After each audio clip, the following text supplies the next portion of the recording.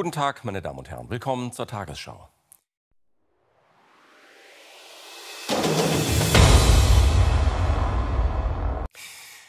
Wirtschaftlich läuft es in der Eurozone gerade ziemlich gut. Das jedenfalls zeigen jüngste Konjunkturdaten und Stimmungsbarometer. Klaus-Rainer Jackisch an der Frankfurter Börse. Wie sind denn diese Daten genau ausgefallen?